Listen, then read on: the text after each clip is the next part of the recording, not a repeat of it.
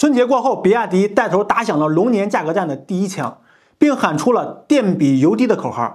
随后，长安启源、哪吒汽车、上汽通用五菱纷纷跟进，新能源车市从油电同价走向了电比油低，动辄大几万的降价幅度，不得不让人感慨一下，真是太卷了。本就打算买车的您呢，是不是更加的蠢蠢欲动呢？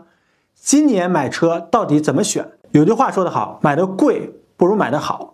我这就给您盘点一下二零二三年各价格区间的畅销车型，希望给您新的一年买车带来一些参考。十万元以内的燃油车型销冠肯定是日产轩逸了。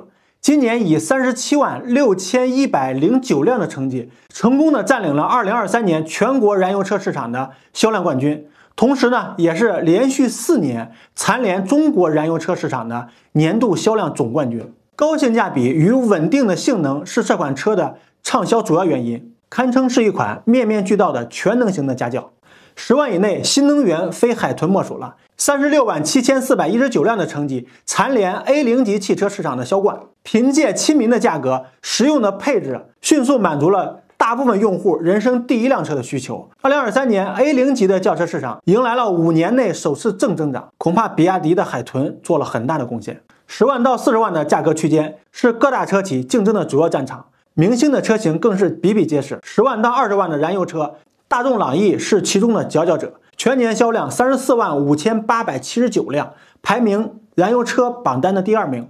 第一名呢，就是刚才说过的轩逸。两车售价有部分重叠，朗逸作为德系老将，在车市中呢一直是颇受认可。十万到二十万的新能源车，秦 Plus 全年销量四十三万四千两百一十三辆，稳稳的成为自主品牌畅销车型之一。新年刚开工，秦又开启了电比油低的价格时代。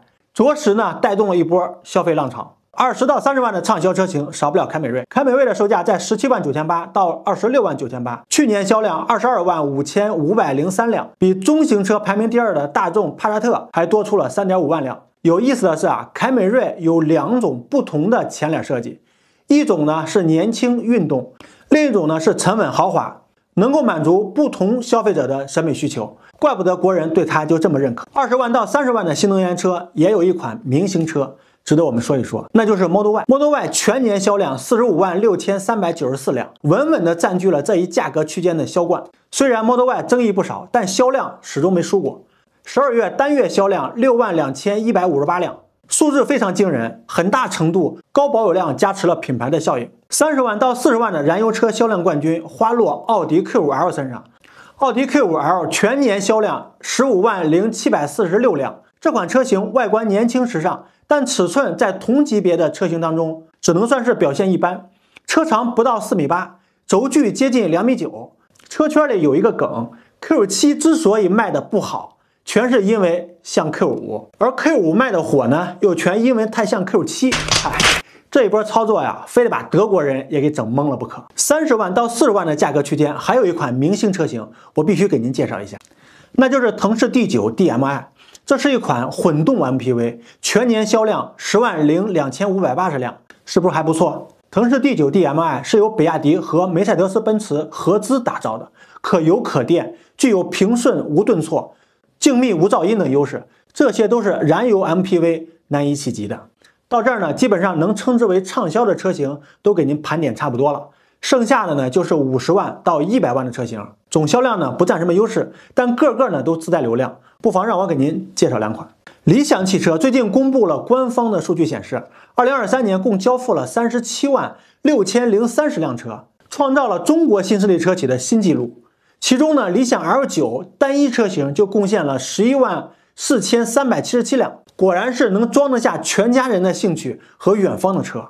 奔驰 S 去年销量两万两千七百辆，在百万级的豪车市场妥妥的排名第一。奔驰 S 级一直是豪华轿车的代表性车型，全新奔驰 S 成功的融合了豪华和运动两种元素，不仅是一款豪华轿车，而且是一种。兼具多功能的工程艺术品。如果您正在考虑购买一款豪华与优雅兼顾的高性能、先进科技感的车型，不妨您考虑一下。好了，以上就是给您带来的2023年最畅销的车型，希望给正在买车的您带来一些帮助。